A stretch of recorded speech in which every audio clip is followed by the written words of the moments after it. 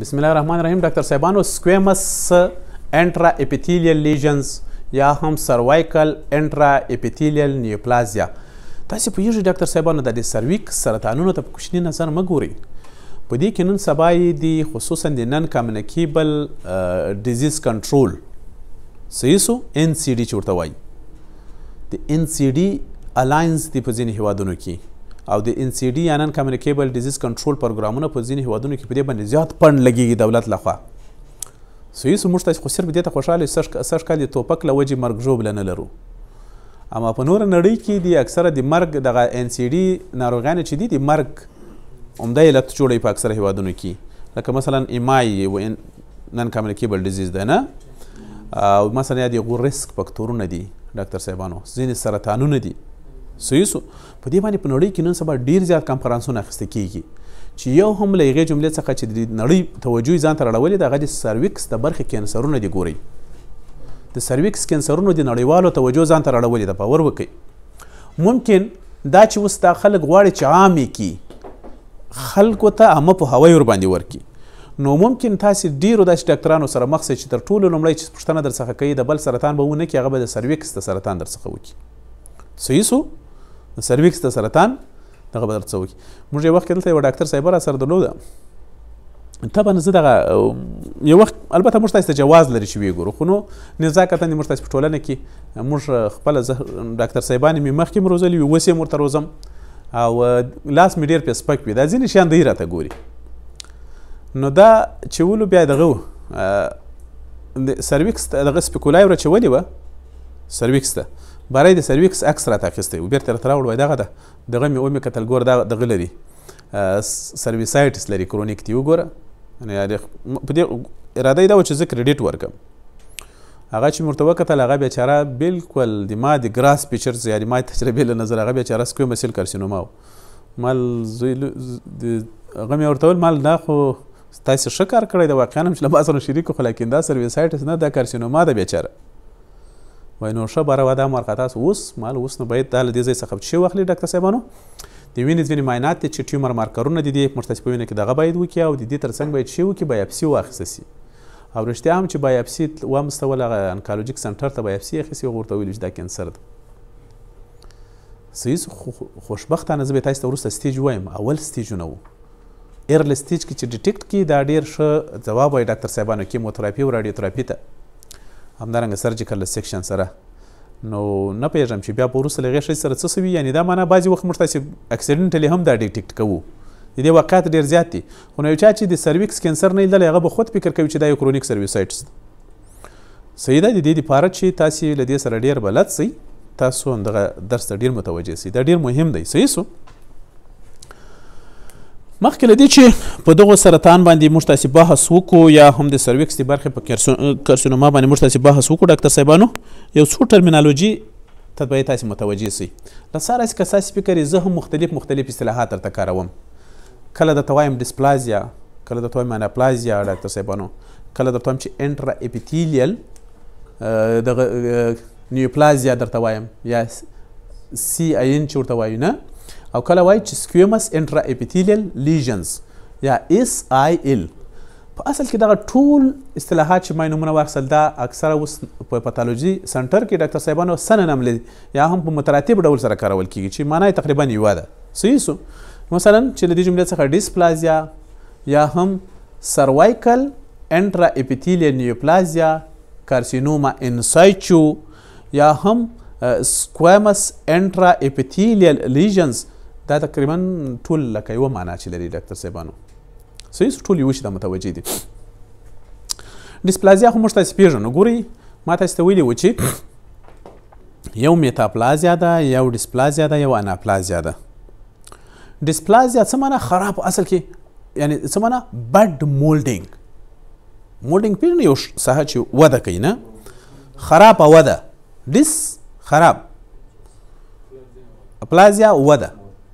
ګروت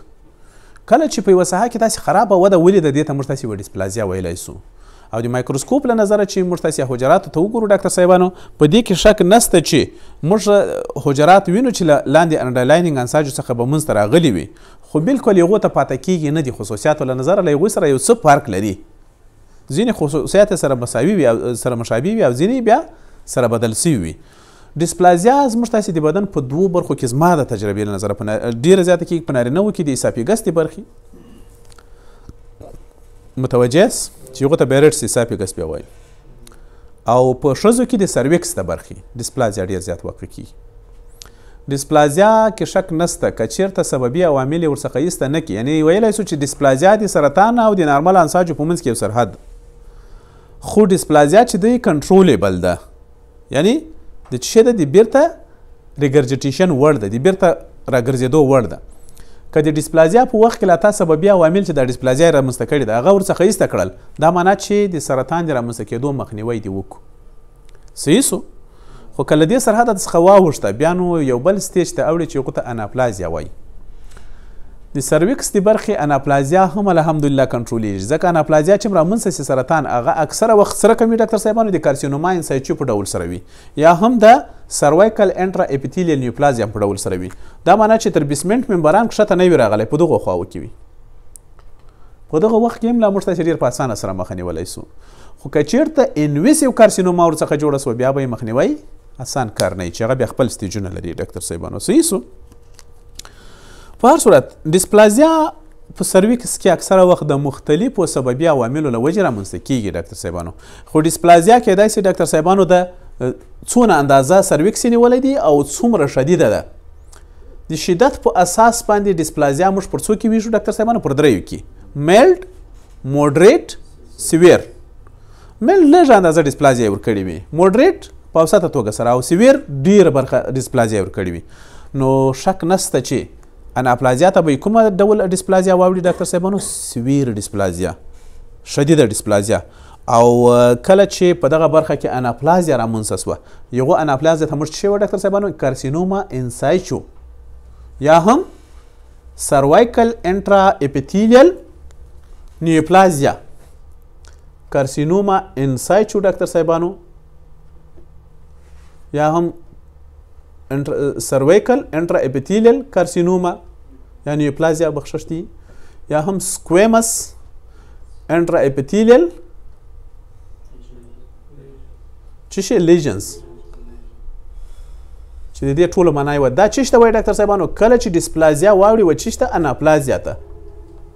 څه معنا حجرات یې نور هم انډیفرنشیټډ سي ریل سرطان سي یعنی دا معنا چې ګروت شروع کی سره کم ګروت ان کنټرولیبل صحیح سو او د حجراتو کې موږ پوهیږو چې دا ډیفرنسیشن هم د لاسه ورکوي یعنی حتی ته بیا فکر نشي کولای چې د کوم ځای څخه منشا اخیستې وي ډاکټر صاحب دا وده نوره په خپل سر کیږي صحیح سو سی آی ان باندې لیک بحث کوو ډاکټر صاحبانو دا موضوع ډیره مهمه موضوع ده سی آی ان یا هم سروایکل انټرا اپیتیلیل نیوپلازیا چې دی ډاکټر صاحبانو دې ته بعضې وخت موږ تاسې کارسینوما انسایچو هم ویلی سو ځکه کارسینوما انسایچو ورته وایي چې دا هیڅ وخت تر بیسمنټ ممبران لاندې نه راغلی یعنی دا معنی چې یوازې په لکه په په اپیډرمس کې چې دغه وی ډاکټر صاحبانو سرطان وي ډرمس ته لاندې نه تللی دغه یو حالت چې ولې دلته دته کارسینوما انسایچو هم ویل کیږي ډاکټر صاحبانو خو په حاصل کې ډاکټر صاحبانو یو خبره مې راوي چې ما تاسو ته ویل چې ډیسپلازیا چې رامنځته کیږي هغه پر څو ډوله ده ډاکټر صاحبانو شدت په اساس باندې پر درې ډوله په همدې اساس باندې موږ تاسو ویل چې کارسینوما انسایچو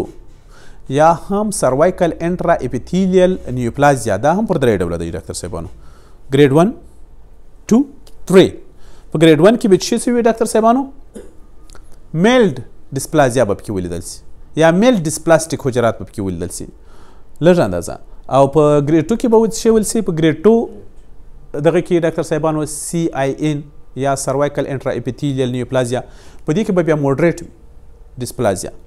او په دغه کې به څه وي ډاکټر صاحبانو په سی آی ان کې پول تکنس متوجه یاست دلته دا پول تکنس څه معنا میلټ څه معنا موډریټ څه معنا موږ پوهېږو ډاکټر صاحبانو چې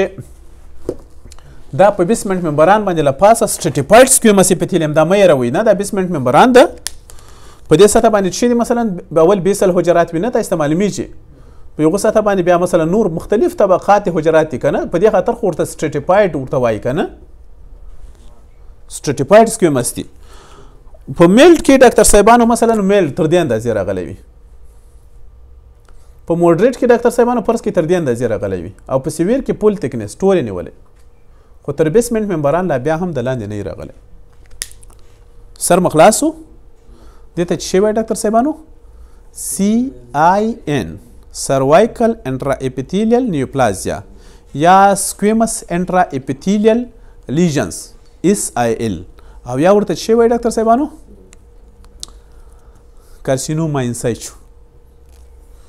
سر مخلاصو په دې باندې ته پیتوجینی سستې راځو ډاکټر صاحبانو اسباب او میکانیزم یې د دې دوه اسباب دي ډاکټر صاحبانو یا دوه مطالعات سوي دي چې زموږ تاسو په واکې دي البته ډېری به سوي خو دوه ما د لري راوړي دي چې یو لږه جمله څخه ډاکټر صاحبانو اپیډیمیولوژیک سټډي دي یا په دې باندې اپیډیمیولوژیک مطالعات سوي دي او بل وایرولوژیک دي وایرولوژیک مطالعات ما دوه مطالعات راخیستي دي ډاکټر صاحبانو د دې په سببي عواملو کې چې یو اپیډیمیالوجي دي اپیډیمیالوجي پیژنې چې یو خاصه ناروغي په خاصه سیمه کې وڅېړل سي او بل شی دی ډاکټر صاحبانو وایرولوژیک مطالعات دي چې په هغوی کې دا پروپ سوي ده دا ثبوت سوي ده چې د سروایکل کارسینوما انسایچو یا سی آین سره کم رامنځته کیږي یعنی سروایکل انټرا اپیتیلیل نیوپلازیا څنګه رامنځته کیږي ډاکټر صاحبانو اپیډیمیولوژیک معلوماتو کې موږ دا لاس ته راوړي دي ډاکټر صاحبانو چې ځینې فکتورونه سته چې هغه په ځینې ښځو کې زمینه مساعدوي چې تر څو هغه پر څه شي واړي د سرویکس د برخې په کینسر باندې واړي ډاکټر صاحبانو خو دا کینسر ګوري لا لاندې نه دی تللی لکه سالم داسې ده صحیح سو په دغه وخت کې مثلا هغه ښځې چې ډاکټر صاحبانو د سکس په وخت کې د دوی عمر کم وي یا یې عمر کم وي یا یې عمر ډیر وي په دواړو صورتونو کې ډاکتر صاحبانو لکه مثلا کم عمره نجینې مه وادوئ. ولې مه وادوئ؟ ځکه چې ډېر علتونه لري، یو علت یې هم دا ده چې کېدای شي هغه د سرویکس په برخې په کینسر باندې اخته شي. غټ علت. بل ډاکتر صاحبانو هغه ښځې چې ملټیپل سیکشوال پارټنر لري. صحیح سو ملټیپل سیکسوال پارټنر پیژنې چې څه وایي پښتو کې څه ورته وایي رنډه یا پرې ورته رنډیا ورته وایي دا ادبي نوم ده ښه بل هغه ښځې چې ډاکتر صاحبانو پر چشي باندې اخته سوي وي مثلا لکه په کانډایلوما کومنیټم باندې اخته یعنی دا معنا چې په هیومن پپیلوما وایرس باندې انفیکټډ سوي وي هغه هم ډیر اخته کیږي خو کانډایلوما کومنیټم اکثر وخت ټایپ 7 او 11 هغه چې د لیس انکوجینیک وایرسونه دي دا په یاد لرئ خصوصا ماته چې هیومن پپیلوما وایرسونه تر سل ډول ډیر دي نورو ډولونو خصوصا انکوجینیک هیومن پپیلوما جل جلاله او څلورم ګروپ د خطر سره مخ ښځي هغه دي چې د داسې سړي سره یې واده کړی وي چې هغه سړی څه رقم وي ځینې ستونزې ولري هغه سړی ځینې ستونزې ولري یا له داسې سړي سره دی دوامداره سکس کوي چې هغه سړی ځینې ستونزې ولري ډاکټر صاحبانو مثلا هغه خلک چې یا هغه سړی چې ملټیپل سیکشوال پارټنر ولري دلته و خلکو ته قطر متوجه دی غوښوزو ته چې میړی ډیر ښځې لري صحیح سو یا روا یا ناروا چې ډیر سکس خپل پارتنر ولري میړی هغه د یو ښځم کېدای شي چې په سرویکس کینسر باندې اخته شي دا په یاد لرئ ګوري بل هغه سړی چې د پینس پر چې باندې اخته وي په وارټس باندې اخته وي یا په زخو باندې اخته وي یا کانډولي کانډایلوما کومنیټم دیغو ښځې ښځه کیدای سی د سرویکس په کینسر اخته کی ګوره بل ډاکټر صاحبانو داسې سړی چې مخکې یو سړی ده ښځه یې مړه سوه ولې مړه سوه ځکه د سرویکس د برخې کینسر یې درلودل یا ژوندۍ ده او دی یا مثلا طلاق ورڅ وخت غیر شي ورسره له بل چا سره واده وکړي امکان لري چې دا بل شوزه هم د سرویکس په کینسر باندې اخته شي دا په یاد لري سیسو د دې تر څنګ هغه ښځې چې سګرېټ څکوي، همدارنګه هغه ښځې چې کانټرسیپټیو ګولۍ خوري، هغه ښځې چې په اېچ آی وي انفېکشن باندې اخته وي، هغه ښځې چې امیونو سپریسنټ دواګانې اخلي او همدارنګه ځینې نور ګروپ هم سته مثلا لکه موږ ممکن ما نمونه دلې نه اخیستې یعنې ځینې نور ریسک فکتورونه هم سته او په دې کې هم شک نسته هغه ښځې چې ودونه یې نه دي کړي او یا هغه ښځې چې د واده وړ نه دي په هغو کې د سرویکس د برخې کینسر نه لیدل کېږي ډېر واقعیت یې پکې کم دي صحیح سو ما درته چې دوه مطالعات چې سرویکس د برخې د کینسر پر رامنځته کولو کې ما راوړي دي دلته چې موږ ته استداره په ګوته کوي چې کوم د خطر فکتورونه شته چې ځینې ښځې د سرویکس په کینسر باندې اخته کېږي چې اول اپیډیمیولوژیک دوه مې چې و ماته وایرولوژي وایرولوجي یو ډیر ښه علم ده چې په دې کې وایرسونو باندې بحث کیږي او موږ تاسې وایرسونه د سرطان د رامنځته کولو د سرطان د نه رامنځته کولو په اساس پر دوه کې تقسیم کړي دي چې یو ته انکو وایرس موږ ویلي او یو نن انکو وایرس مختلف داسې انکو وایرسونه شته چې هغه کولای شي چې د سرویکس د برخې سرطان رامنځته کړي چې له هغې جملې څخه تر ټولو د پام وړ هیومن پپیلوما وایرس ده هیومن پپیلوما وایرس ډاکتر صاحبانو ډېر ډولونه لري چې له هغې جملې څخه په خاص توګه سره کوم ډولونه ډیر دی پام وړ دی ډاکټر صاحبانو لکه ټایپ 16 18 چې او یا پیسه د سرویکس د برخې کارسینوم انسایچو د دی په سره منځ کېږي نور ډولونه 31 33 52 او 58 دا هم کولای شي چې په ځینې برخو کې د سرویکس د برخې سرطانونه رامنځته کړي ډاکټر صاحبانو صحیح سو او هیومن پپیلوما ټایپ 6 او 11 کوم چې دغه کانډایلوما اکومنیټم رامنځته کوي دا چې دی بیا د خطر فکتورونه دي دوی هم کولای شي خو ډېر لږ د دې انکوجنسټي یا کارسینوجنسټي چې ده یو څه لږ ده تر نورو سیسو د دې ترڅنګ ځینې نور وایرسونه هم پیژندل شوي دي چې په دغو سرطان په رامنځته کولو کې مرسته کوي خو مستقیم پکې دخیل نه دي ګوري یعنی یو کو فکتور په ډول سره ورسره مرسته کوي چې له هغې جملې څخه په خاص توګه سره لکه مثلا تر ټولو د پام وړ کوم دی اچ آی وي وایرس دی ډاکتر صاحبانو اچ ټي ال وي وایرس دی ډاکتر صاحبانو او همدارنګه اپسټن بار وایرس دا کولای شي چې په غیر مستقیم ډول سره د سرطان په رامنځته کولو کې له نورو وایرسونو سره مرسته وکړي یا له نورو فکتورونو سره مرسته وکړي ترڅو دا خلک د سرویکس د برخې په کینسر اخته شي البته دغه مطالعات ټول د څه شي پر بنا سره سوي وو ډاکټر صاحبانو دی ډي ان اي هایبریډایزیشن ټکنیک په واسطه باندې سوي وو او ما راواخیستل د ستاستم په واکې درکړل دغه یو ډیر ښایسته چې شیما ده ډاکټر صاحبانو چې دلته هغه میجر ریسک فکتورونه دي چې ما تاسو ته مخکې وویل هغه سربیره مثلا هیومن پپیلوما وایرس انفیکشن او په دغه ټولو کې ډاکټر صاحبانو موږ تاسو پیژو د بیسل لایر د اپیتیلیم کې کله چې تغیرات راشي ډاکټر صاحبانو بل اخره دا مثلا په خاصو سره هیومن پپیلوما وایرس کې چیرته حمله پیو کې چې د دې جملې څخه ټایپ 6 او 11 لږ خطر او دا نور ډیر خطر درلودل ځکه دا لږ خطر لري چې دا شي کوي ډاکټر صاحبانو اپیسومل انفیکشن په ډول سره رامنځته کیږي او کانډایلوم اکومینیټم رامنځته کوي او اکثره وخت دا بیرته ریګریشن کوي مثلا زخه رامنځته کوي او دا نور ډیر خطرناک ځکه دي چې دا انټګریشن کوي ډاکټر صاحب نو میوټیشن رامنځته کوي نه او په نتیجه کې موږ تاسو پیژو چې دغه داسې یو یو وجد سفر طی کیږي او په پایله کې وچی د دې میوټیشن په نتیجه کې موږ تاسو پیژو د پپی 350 آر بي جین او همدارنګه په ځینې نورو جینونو لکه لکه سایکلین ای زیاتیږي دوامدار ترشو کیږي نو په نتیجه کې به چی رامنځته سي کینسر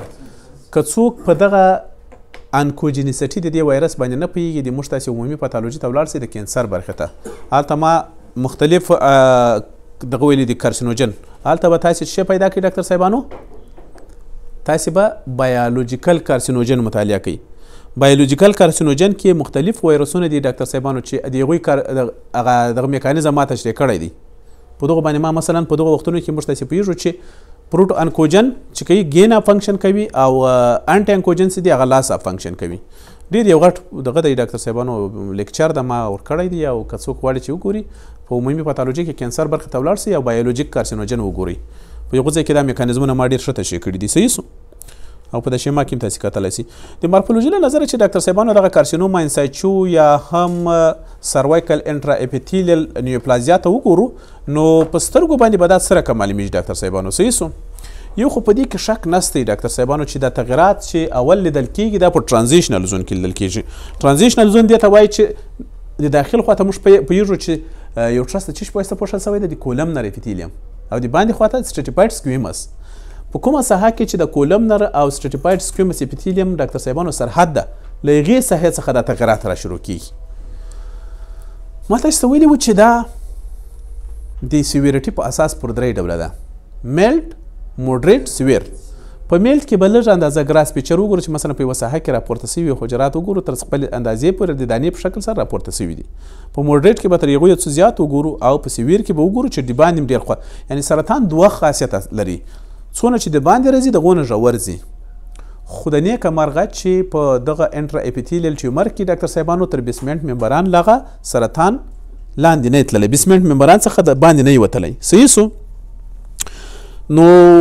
د مایکروسکوپ له نظر چې موږ تاسو ورته وګورو ډاکټر صاحبانو په دغه کې به مختلف تغیرات وګورو چې دا تغیرات به زه تاسو ته په راتلونکي کې ووایم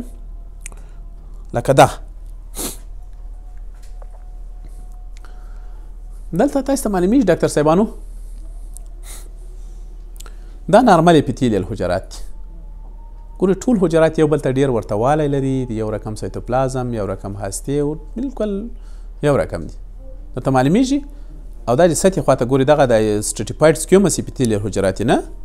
د بیسل حجرات دي سطحي خواته بالکل تر سطح پورې نارمل دي او په دې کې ډاکټر صاحبانو چې د میل ډیسپلازیا په دا بیخ برخه کې و اندازه حجراتو تغییر پیدا کړی دی کنه بس شي کوي په موډریټ کې بیا ترغه زیات او په سویر کې ټول حجرات سره کم سوي دي ډاکټر صاحبانو تغییر کړی دی د حجراتو تغییر څنګه کړی وي چې مایکروسکوپ له نظر ورته وګورو مثلا سیتوپلازم یې ممکن لږ هسته ډیره هستوي مواد ډیر کروموسومونو تعداد تغیر خپل د حجرات چې کوم حجروي ویشنه تر سره کوي اب نارمل میوټیشن یا اټیپیکل میوټیشن کوي نو دا بل اخره موږ تاسو په دې معلومول چې کله چې لغه صحه څخه بایپسي را واخلو نو ګورو چې په څونه د دغه د تکنیسي موږ تاسو ګورو نه په څو فیصده اپیتیلیم کی سرطانی حجرات پیدا سوی دی مثلا په لږ اندازه موډریټ اندازه او یا هم پل تکنیس صحیح سو شبار سره ډاکټر صاحبانو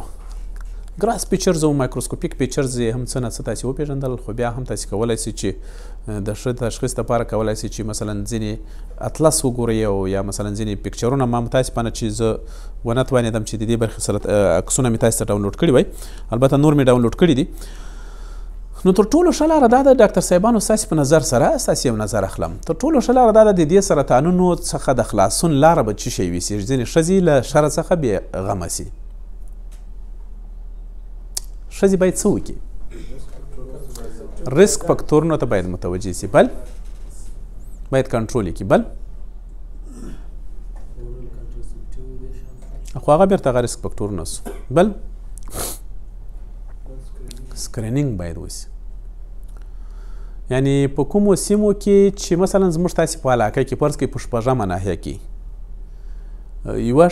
مثلا ګوري چې مثلا په میاش کې اته نه یا لس دولس شزې په سرویکس کینسر باندې اخته کیږي نو ښه خبر دا ده چې په دې ساحه کې موږ تاسو چې وکړو مطالعات وکړو څېړنه وکړو متوجه او د مطالعې ترڅنګ هغه ریسک فکتورونه باید پیدا کړو چې د دغه سیمه کې څه شي داسې ریسک فکتورونه چې ښځې په څه شي اخته کېږي په سرویکل کینسر باندې بل باید موږ ته چې وکړو دا ښځې سکرین کو د شپږمې ناحیې ټولې ښځې چې سیکشوال اکټیو دي واده سوي دي او میړونه یې ورسره کار لري په اسلام باید راسي او سکرین سي اقلا په کال کې یې واري څه رقم سکرین سي مثلا له وجینا څخه یې خپل سمیر اخیسته کیږي په دغه رقم سره او هغه سمیر ورسته څېړل کیږي ډاکټر صاحبانو که چیرته دی سمیر په نتیجه کې موږ تاسو په پوز و چې په دغه کې سرویکل انټرا اپیتیلیل نیوپلازیا یا هم کارسینوما انسایچو لږم نشي دي نو په دغه وخت کې به موږ تاسو توانېدلی یو چې په اصلاح په ډیره کمه دوا سره دغه ستونزه دایم دی پاره لمابین یوسو صحیح سو نو موږ تاسو بیا په توانیږو چې په دغه شزو کې د مورټالیټي ریټ کم کو کولای سو کیا سکرینینګ ټیسټ لپاره تر ټولو دغه مهم دغه معنا چې کیږي ډاکټر صاحبانو دې معنا ته چې وای پاپ سکرینینګ ټیسټ ورته وای یا پاپ سمیر چې اخیستل کیږي پاپ سکرینینګ ټیسټ ورته وای دا په هغو هیوادونو کې په لار اچول سوی دی چې پرمختللي هیوادونه دي نو په دې اساس باندې په هغو هېوادونو کې چې پرمختللي دي نن سبا د سرویکس د کېنسر له وجې مړینه ډېره راټیټه شوې ده یا هم د سرویکس د کېنسر د رامنځته کېدو چانس ډېر کم شوی ده ولې ځکه یې خلک یې انولي په کال کې یو واري دا د پاپ سمیر په ذریعه سره سره کم کېږي ډاکټر صاحبانو سکرین کېږي ښځې ټولې سکرین کېږي او په نتیجه کې د چې کېږي ډاکټر صاحبانو د دې سرطان له خطر څخه ژغورل کېږي، که چېرته شروع شوی هم و، په هغه اول کې لا تداوي کېږي. د سرطان تر ټولو بد حالت دا ده چې تر ډېره وخته پورې انسانان یا ښځې په ځان خبر نه وي لاکن په سرویکس کېنسر باندې اخته وي. صحیح شو؟